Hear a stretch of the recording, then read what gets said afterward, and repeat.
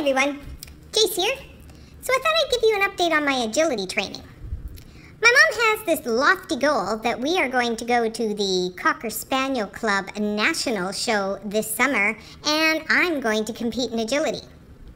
While it certainly isn't a question of whether I'm going to be ready, the big question is, is she going to be ready? I mean, if anybody's going to make a fool out of themselves on that course, it's going to be her. So today we're out practicing, and the equipment of choice today was the tire jump. Now, with the tire jump, I kind of have to decide, am I going to do it or am I not? So we're outside and she sends me through the tire. And I go through it, no problem. Brings me back, let's do it again. Sends me out to go through the tire, eh, not this time, and I run underneath it. So she's getting a little annoyed with me.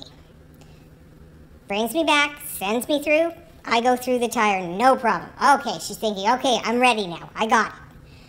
So now she decides I'm going to go through the weaves first and then onto the tire. So sends me through the weave poles and I'm weaving back and forth, no problem. Fly right through the tire. Perfect. Crushed it. She's like, yes, we got this. Brings me back, says, okay, buddy, let's go again. So she sends me through the weave poles. I go through the weaves, flying up to the tire, and no, not today. I go underneath it. So now she's getting a little pissed off at me because it's like, what is wrong with my brain? Well, nothing's wrong with my brain. I just didn't feel like doing it. So I guess that's where we are right now. I kind of manipulate her a little bit, but you know what?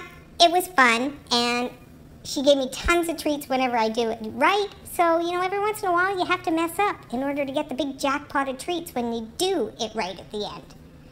Anyhow, that's how my progress is going so far. She got a little frustrated, put me away, and uh, the rest of the day I kind of laid in the sun. See you next time. Jase out.